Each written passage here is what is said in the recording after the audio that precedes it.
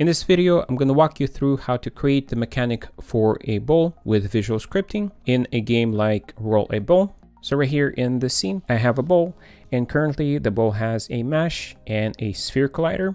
Now, what I want to do is add a rigid body and also I'll add a script machine for the logic.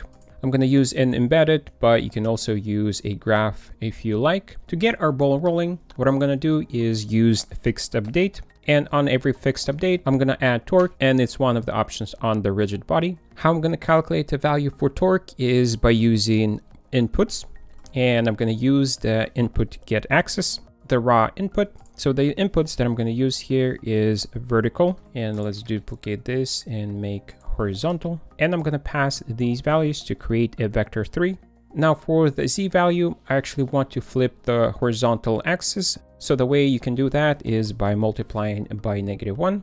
And now we can pass that for z.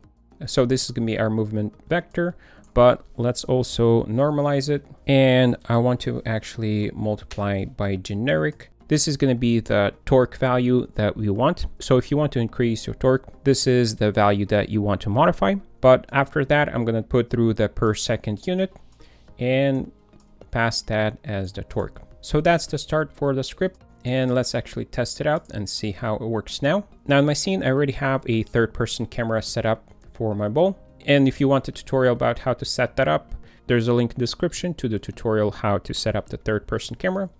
And now you can see in this game, we have a ball that we can control.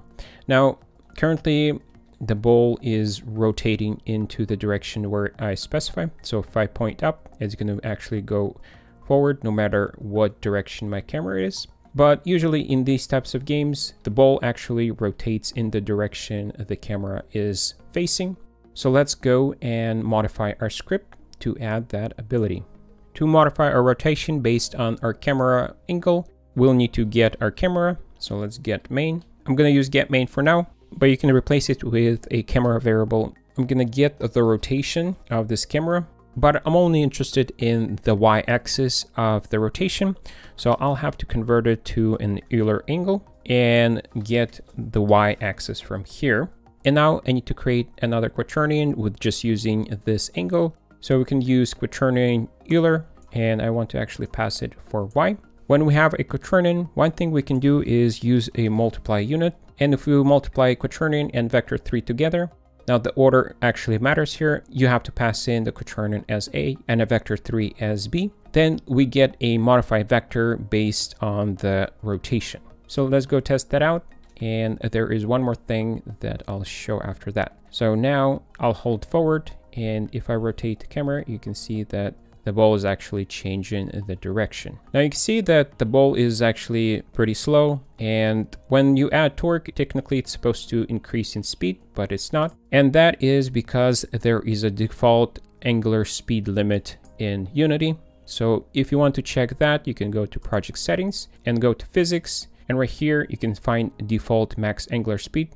It's currently set to seven and you can change it here but that's going to change the default for all of your game objects.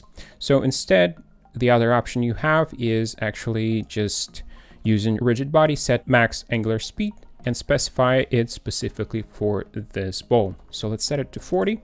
And right there, you can see that the speed of the ball is much faster now.